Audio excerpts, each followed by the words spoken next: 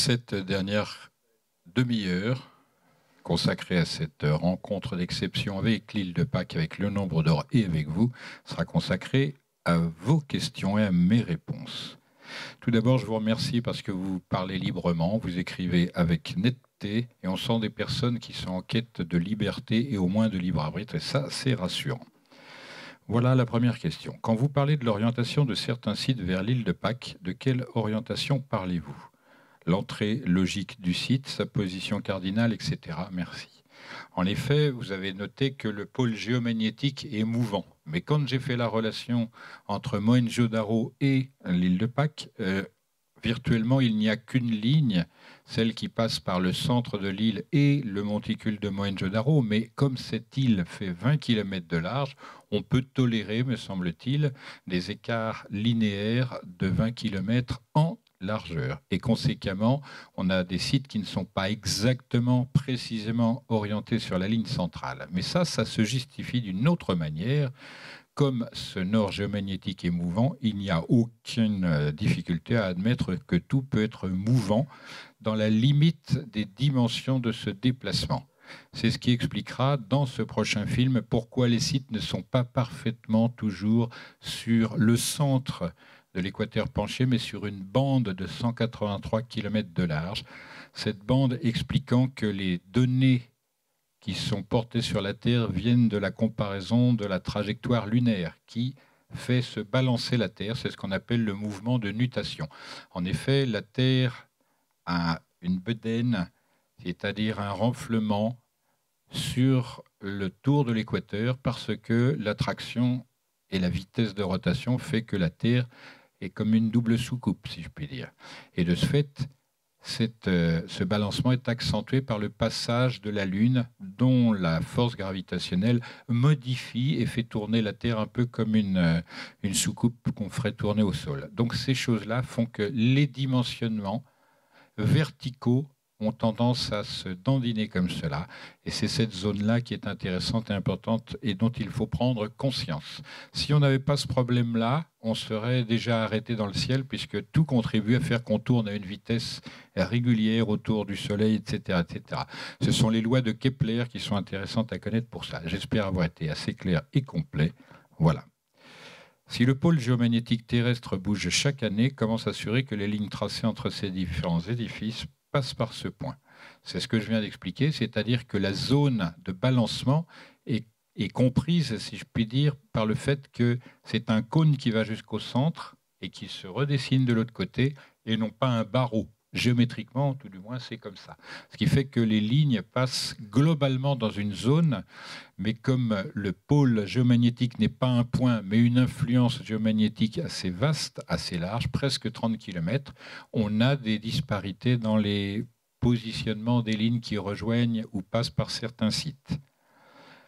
Dans votre film et intervention, vous insistez sur le poids des pierres. Pourquoi ne jamais évoquer, évoquer pardon, Baalbek Baalbek est dans la plaine de la Beka au Liban. Bien sûr que je connais très bien, j'y suis allé un bon nombre de fois. Ça se dégrade là aussi. Comment dire, la possibilité de filmer tout ça est difficile à obtenir parce qu'il y a des tensions importantes. La dernière fois que j'y étais allé, j'ai failli me faire trouer, donc c'est pas trop mon truc. Mais ces pierres sont tellement évidentes qu'il n'est pas besoin, pour l'instant, tout du moins, d'en parler. En réalité, ce ne sont pas les plus lourdes pierres du monde, même si elles dépassent 1300 tonnes monolithiques, c'est-à-dire une seule extraction. Il y en a d'autres plus importantes dont on ne sait rien. Et avant de parler des pierres de Balbec, on montrera des pierres encore plus terribles qui ont été soulevées, déplacées, etc. Ça pour montrer que Balbec, c'est comme lorsqu'on me questionne sur qui a construit la grande pyramide de Khéops avec ses pierres gigantesques, je dis intéressez-vous plutôt au temple de la vallée parce que les blocs dépassent les 400 tonnes et sont disposés les uns au-dessus, comme il en serait d'une construction d'un jardinet avec son petit muret qui fait le tour. C'est de cet ordre-là. Donc avant de s'intéresser euh, à cela, on a l'intention d'expliquer toutes les techniques qui ont été mises en œuvre par les modernes pour tenter de soulever euh, ce genre de pierre. Sachez que pour 1000 tonnes et 30 kilos, l'une des pierres de Balbec ne pourrait être actuellement soulevée même avec 50 grues les plus puissantes. D'abord parce qu'elle n'aurait pas la place autour, et d'autre part, c'est que le centre de gravité reste à la même place si on essaye de soulever le bloc en un seul. Voilà. Il y a plusieurs choses à savoir, c'est ce que j'expliquerai moi-même, et je montrerai comment on déplace des, des blocs de 6 tonnes alors qu'on est tout seul. Donc ça vaudra la peine d'être connu avant, et à partir de cette démonstration, on pourra montrer comment les autres blocs sont mus. Est-ce que les géants sont-ils cette ancienne civilisation Quid de l'homme de 15 cm d'Atacama? Atacama, c'est un, un désert au Chili, c'est probablement le plus sec du monde. On y trouve des tas de choses. Si c'est le cas, 15 cm, je l'ignorais, mais il y en a plein partout. Il y en a notamment une soixantaine de, de tombes de 15 à 20 cm en Angleterre dans lesquelles on trouve de tout petits squelettes d'aspect humain. Je vous propose d'aller trouver sur Gallica, voire sur Google Book, un ouvrage américain des années 1929-1930 qui s'appelle Le livre des damnés. L'auteur, qui était un rentier, a tout vendu pour avoir toute sa vie des relations épistolaires avec les scientifiques auquel il demandait Tiens, pourquoi y a-t-il eu une pluie de, grenouilles à tel moment, à tel endroit? Tout cela, évidemment, vérifié factuellement. Et il les mettait en contradiction les uns avec les autres. C'était sympa. Il disait En Angleterre, cette année, on a trouvé six euh, cadavres de géants euh, dépassant les 3 mètres 10 Qu'en pensez-vous compte tenu de l'extraction de ces 15 tombeaux de, personnages humanoïdes dont les squelettes mesurent 18 cm C'était ça son truc. Donc ce bouquin vaut vraiment la peine d'être lu. Il a paru en français, il y en a eu deux traductions. Euh, l'une est à peu près euh, supportable, mais on ne trouve plus ce bouquin. Et la dernière est canadienne, elle est très médiocre, mais le bouquin lui-même vaut vraiment la peine d'être lu parce que son auteur, Charles Faure, il développe une euh, une philosophie de la science, à mon avis, qui vaudrait d'être enseignée. Alors, le livre des damnés. Les damnés, en fait, ce sont toutes les données exclues qui sont pourtant bien réelles.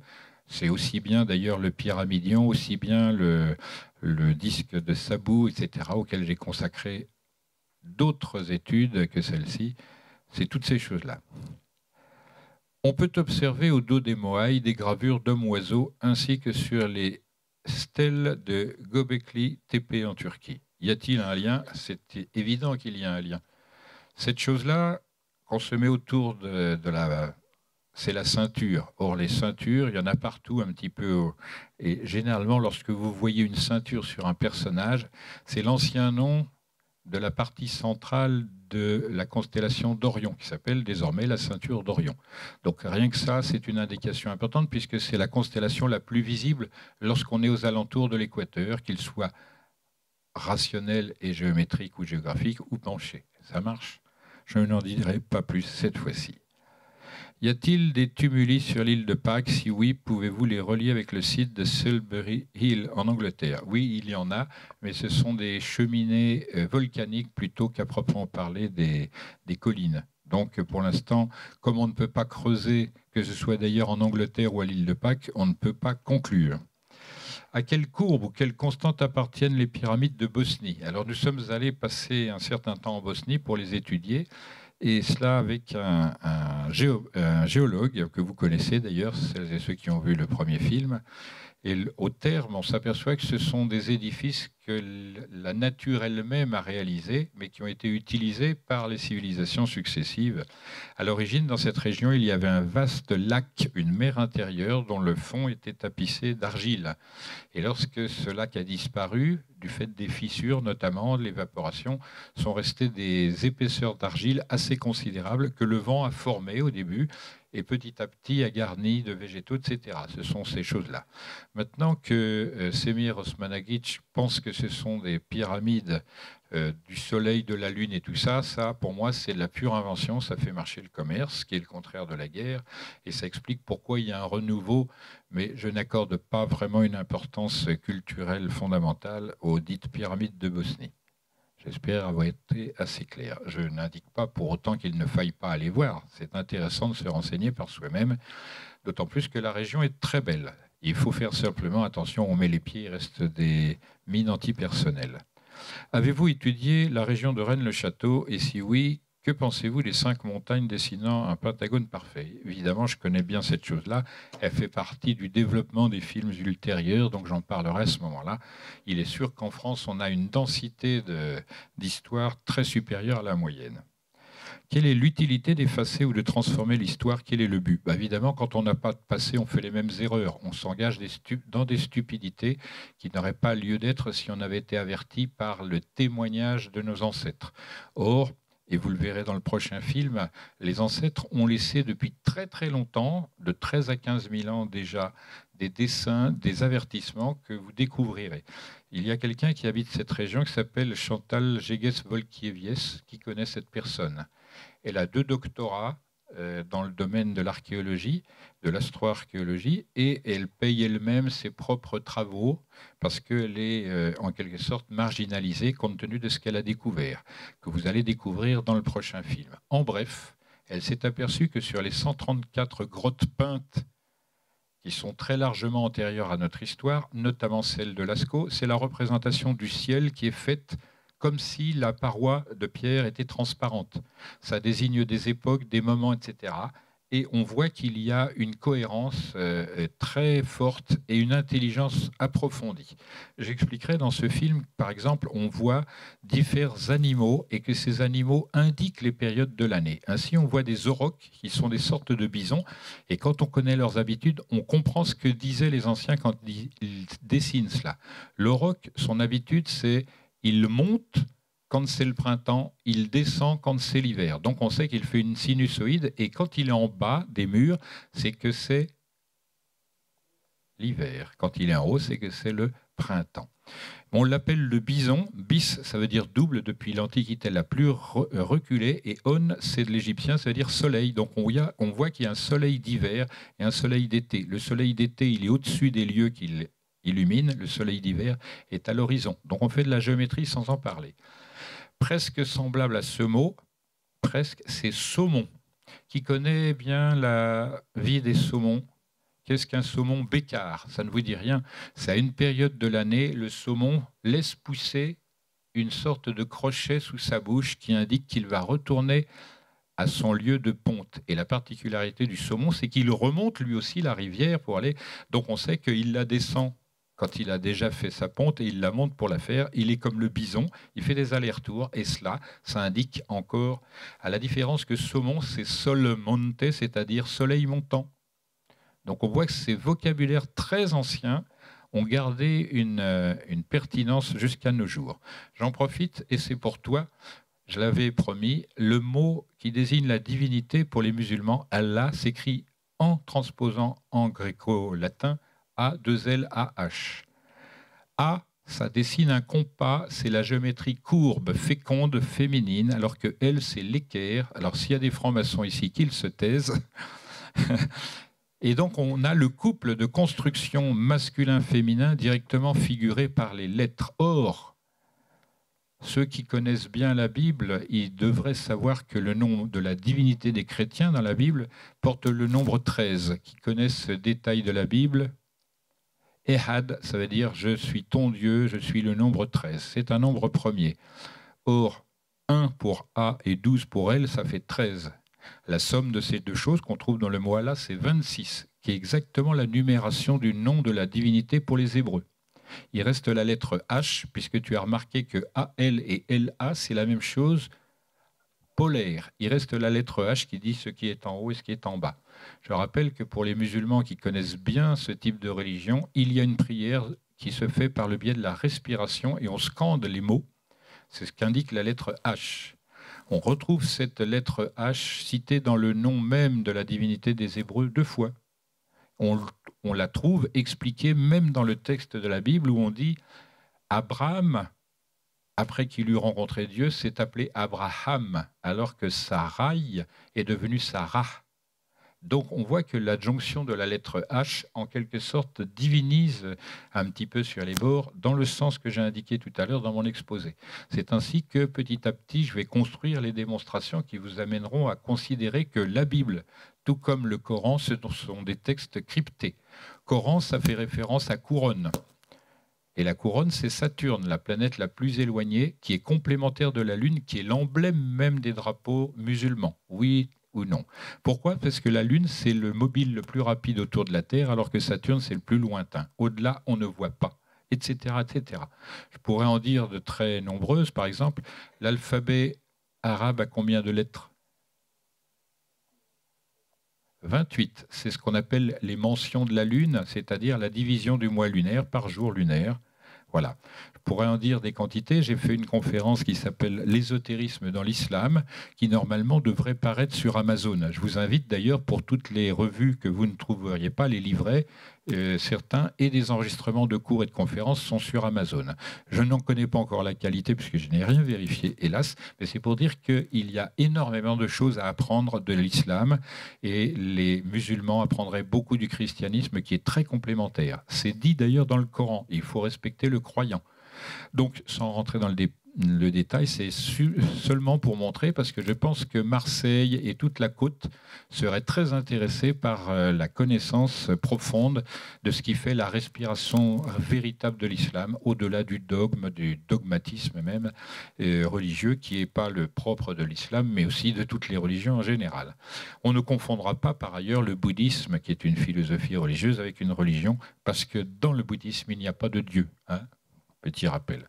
J'en profite aussi parce que c'est une introduction à la philosophie des anciens pour préciser qu'il y a des gens qui parlent du bouddhisme et qui disent le bouddhisme énonce qu'il faut faire que l'ego soit détruit. C'est une vaste boulette. C'est ce qu'on appelle pour les chrétiens comment?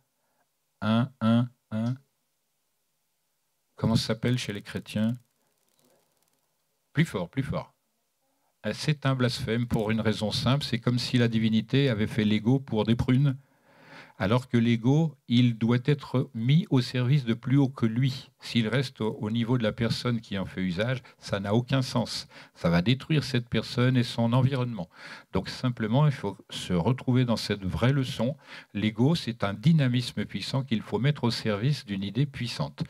Par exemple, au lieu de voter pour machin ou truc, on vote pour des idées. Voilà, l'ego, il peut servir à convaincre d'autres personnes d'en faire autant. C'est un exemple comme un autre. Donc la question était quelle est l'utilité d'effacer ou de transformer l'histoire? Quel but? C'est-à-dire en tordant la vérité et surtout l'héritage commun de tous, on peut y substituer des histoires complètement délirantes et se faire passer pour des élus, par exemple. Nous avons été désignés par machin, truc bidule. Tout ça, c'est assez courant de nos jours. Je ne désigne personne en particulier, mais collectivement, oui, il y a cette ambiance. Et de ce fait, on ne peut même pas en parler tellement l'ambiance est lourde. Vous verrez que euh, la manière dont on tripote l'histoire répond à une finalité, à une volonté d'assujettissement de ceux qui méprisent l'histoire contre ceux qui la conservent en la travestissant. Vous mettez ce soir en évidence une matrice universelle. Que peut-on conclure d'autre? Eh bien que cette matrice universelle, s'il a été fournie par l'étude des témoignages anciens, c'est qu'elle doit pouvoir nous servir à sortir d'une part de nos contradictions d'êtres euh, humains, collectivement, individuellement. C'est donc ça la philosophie des anciens que je vais aborder bientôt. Et d'autre part, c'est que si elle décrit le réel, elle permet de passer au vrai. Or, la référence de n'importe quelle intelligence doit être le vrai, parce que ça permet de comprendre le réel. Si on comprend le vrai, le réel n'est plus un piège. On n'est plus assujetti à des passions parce qu'on sait qu'elles vont crever littéralement avec la personne de chair. Après ça vient la religion, c'est-à-dire est-ce qu'on peut admettre qu'au-delà de la vie incarnée, qu'on appelle l'existence, la vie elle-même permet de faire que les, âmes euh, qui ont vécu continuent à aimer, continuent à protéger, à s'instruire, etc. Ça, c'est aussi la grande question qui va être posée dans les films suivants. Donc c'est intéressant de savoir quels sont les moules euh, et les formes et les justifications de, de ce qui a été montré jusqu'à présent. Ça doit aider à mieux comprendre. Et surtout, la chose à faire et à souligner, c'est apercevoir que le vrai, c'est le bien de tout un chacun. Quand tout le monde navigue dans le vrai, il n'y a pas de contradiction possible. Ça ne tient pas à l'ego, ça ne tient pas au partage, ça tient au fait que tout le monde possède la même chose. Ça, c'est l'unification religieuse qui est tant attendue. Et je rappelle, parce que vous avez dû comprendre que les Illuminati, je les considère comme très peu de choses, bien qu'ils soient très gênants. Eux, leur bêtise leur fait confondre justement l'unification des hommes par la vérité avec l'uniformisation autour d'une vérité fausse. On voit bien la nuance, j'espère. Bonsoir. Quelle est la menace, attendez, quel est le, je n'arrive pas à lire, des pyramides pour l'humanité Ah oui, quel est le message des pyramides pour l'humanité? Est-ce une révélation avec l'inversion des pôles? Merci. Il me semble que j'ai dit tout à l'heure que c'est une introduction à un ensemble sous forme superficielle et touristique et que conséquemment j'en développerai le contenu réel au fur et à mesure quand on sera capable d'aborder des vérités même angoissantes. Je ne souhaite pas, et vous l'avez compris, développer toute idée qui serait contraire à un sauvetage, c'est-à-dire panique à bord. On ne peut plus rien faire, on perd ses moyens. Il faut garder clairement à l'esprit qu'il y a une échéance qui est facile à découvrir lorsqu'on étudie l'astronomie notamment, et que cette échéance, il va falloir l'aborder. À la fin du premier film, je dis très clairement, s'il n'y avait pas moyen d'en sortir, les anciens, les bâtisseurs n'auraient absolument rien fait, ils nous auraient absolument rien montré par le biais de l'équateur penché qui désigne le nord, et le nord géomagnétique est assujetti à l'activité solaire. Actuellement, le Soleil est en mauvaise passe pour une raison très simple. Il existe un cycle de 40 000 ans qui fait qu'il est au-dessus de l'écliptique de notre galaxie, qui est la Voie lactée, et la fois suivante, il passe en dessous. Pendant qu'il est dans l'épaisseur de l'écliptique, là où se manifeste les plus grandes forces gravitationnelles, il passe son temps à se dilater, se restreindre, et ça se répercute sur l'ensemble planétaire, et ça crée des dissensions gravitationnelles qui peuvent être à la source justement d'une catastrophe. Ça peut être autre chose, pour l'instant je n'en dis rien. Simplement cette situation que, telle que je la connais, c'est le croisement, la conjonction de deux cycles. Celui qui est dit de précession des équinoxes, 25 920 ans de moyenne, et l'autre d'élongation de l'écliptique qui est un cycle de 40 000 ans. À ma connaissance, il y a une seule personne qui en parle actuellement sur la planète. C'est un Français d'origine anglaise, Howard Crowest, que j'inviterai pour ce film afin qu'il explique et que nous expliquions ces choses-là. C'est un très bon conférencier, c'est un ami très bon en plus, modeste, travailleur. Il a une intuition qui sort de l'ordinaire. Conscient de cette histoire déjà réécrite, peut-on d'un revers de manche arguant de la corruption, ne pas considérer le positionnement politique. Évidemment que je fais de la politique sans en parler, comme M. Jourdain faisait de la prose, mais je n'ai pas pour ambition d'indiquer le chemin à tout le monde. Je voudrais que tout le monde se prenne le chou pour dire quel est le bon chemin, et en discute. Après, les uns et les autres vont s'apercevoir quel est le bon chemin pour tous. Si je faisais ça, je serais un gourou, en effet. Si je disais il faut aller par là, c'est la bonne porte de sortie, ce serait débile. C'est-à-dire, j'imiterais n'importe quel zozo, ce qui me paraît, comment dire, indigne de l'humanité en général et indigne de l'héritage dont j'ai été bénéficiaire grâce à mon grand-père qui, lui, en avait reçu les éléments par son grand-père et ainsi de suite. C'était des paysans, et donc on a préféré confier aux paysans des choses précieuses plutôt qu'aux corrompus de la ville, hein, vous voyez. Est-ce que le changement de rythme de rotation de la Terre pourrait provoquer une montée des eaux par diminution de force centrifuge toute, euh, toute, modification des caractéristiques euh, actuelles de la Terre, évidemment, entraîne des changements de statique des eaux. On peut imaginer d'autres types de cataclysmes très possibles, qu'on appelle les croiseurs. Ce sont des grosses masses qui se baladent dans l'espace environnant et de temps en temps, il y en a qui passent euh, très très près de la Terre, c'est-à-dire à moins d'un demi-million de kilomètres c'est-à-dire à peine plus, si je puis dire, que la distance de la Terre à la Lune. Si l'un de ces croiseurs de grande dimension venait à passer entre la Lune et la Terre, fort heureusement, la Lune sauverait la Terre, parce qu'il y a ce qu'on appelle les points de Lagrange, qui sont les points équidistants du point de vue de la gravitation. Mais si la, chose, le croiseur passait en dessous des points de Lagrange, c'est-à-dire trop près de la Terre, l'attraction ferait se soulever les eaux de pratiquement toutes les masses d'eau qui iraient vers cette espèce de truc. Et quand il serait passé, ça reviendrait avec le poids de l'eau, imaginez. Et le calcul donne pour un croiseur qui passerait à 250 000 km de la Terre, on aurait environ 95% de l'eau qui s'élèverait jusqu'à 30 km du sol. Vous voyez un petit peu quand ça retombe, c'est la douche. Hein. je vous laisse apprécier l'ampleur de ce genre de situation.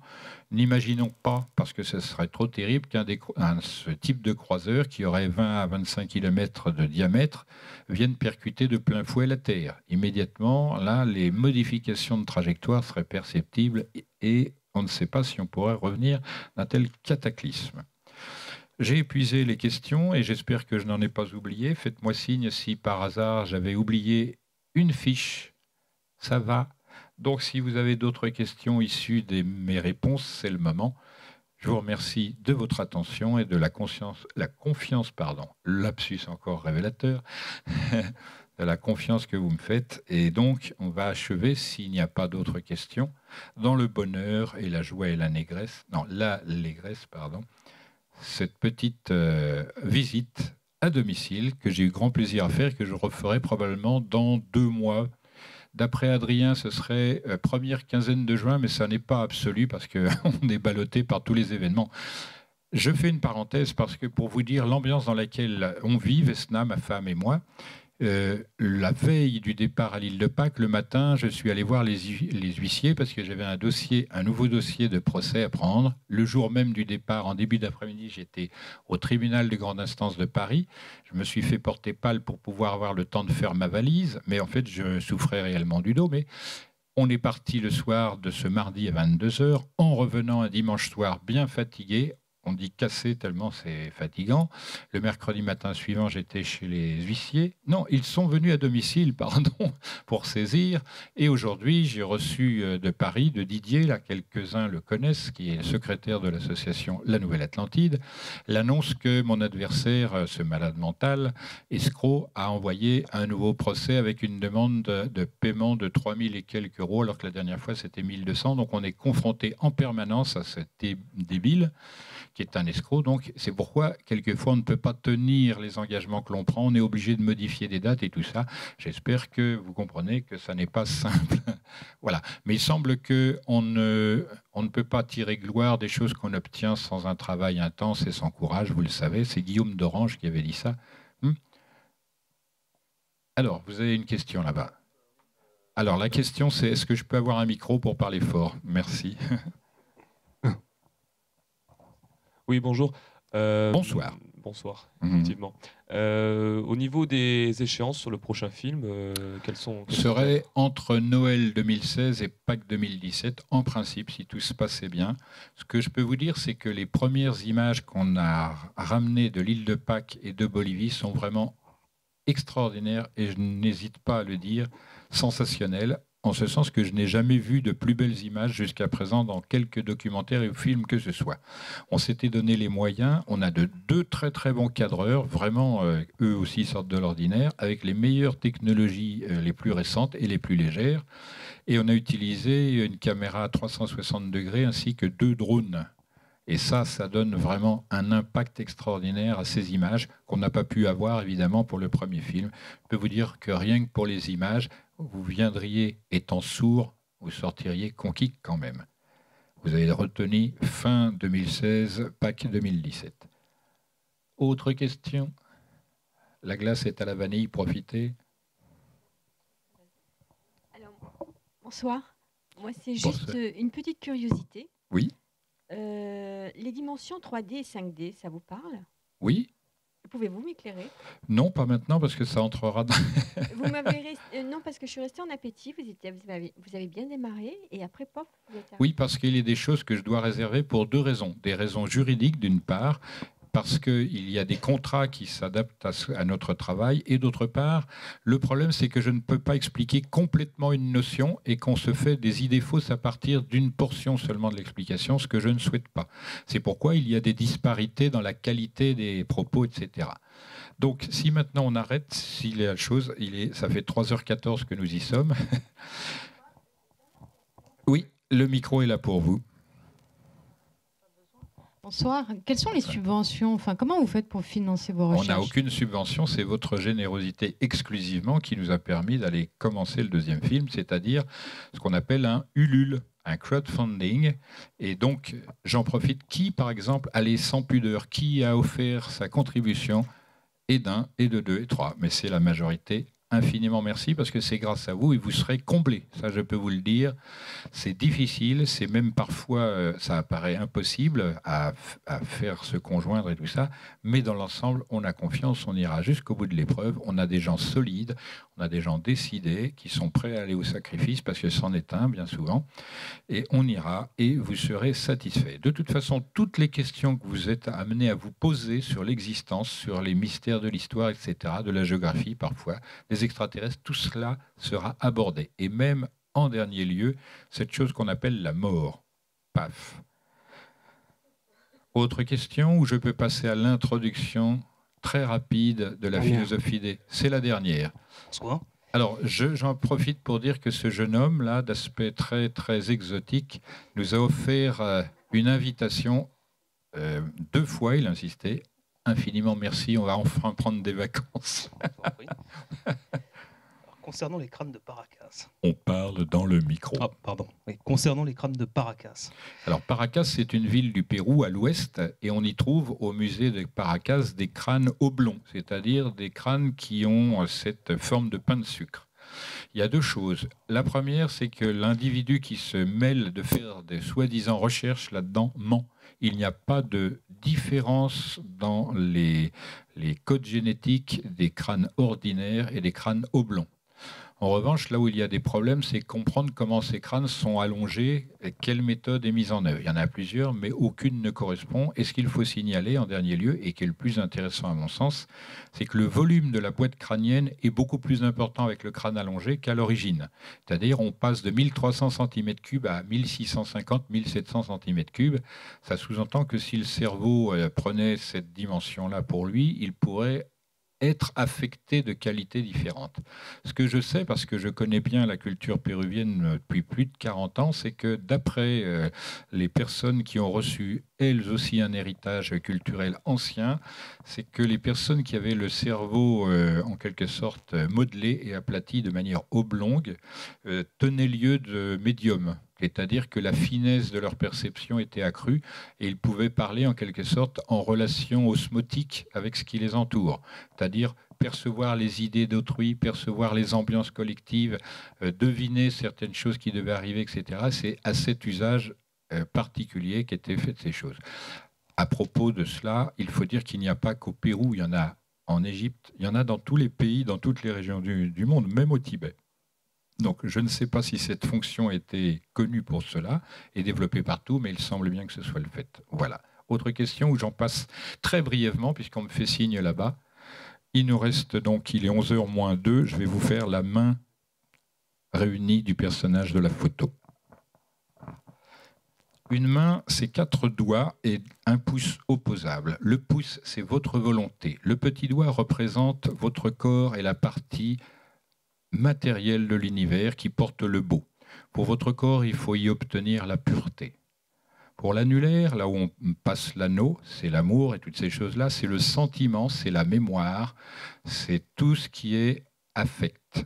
C'est de l'eau du point de vue de l'élément ancien. Là, c'était la terre, c'est l'eau.